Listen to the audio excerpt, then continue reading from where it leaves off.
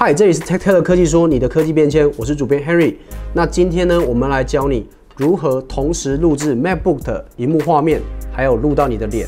那透过这个 Webcam 跟 MacBook 本身的 QuickTime，我们就可以做到哦。那我们先把 QuickTime 叫出来，那可以进去你的 Spotlight，或是像我用 Raycast 去搜寻这个 App。QuickTime 先新增影片录制，那这就是去抓取你的 Webcam 去录你的脸的部分。通常作为一个 podcaster 或是 YouTuber，可能会放在左下角或右下角都可以，然后你可以去调整你想要的大小。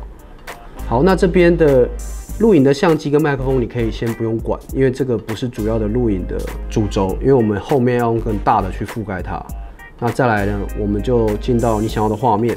那我要同时录 Google Search 跟我的 QuickTime 呢，我要让我的影片录制是永远在这个 Google Search 的上方，所以我要进到显示方式。浮动于上方，哦，它就可以浮动在我这 Google Search 的这里上方。那接下来我要录这个影片跟我自己，我就按档案新增一幕录影。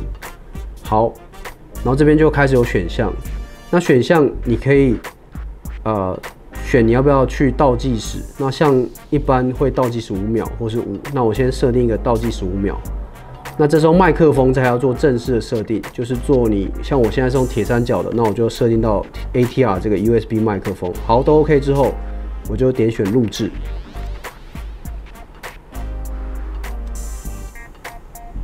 好，OK，那现在就开始录制了。我们进到的是呃 Google Search 里面的消防旗，你是我的眼这个搜寻页面。然后录影完之后呢？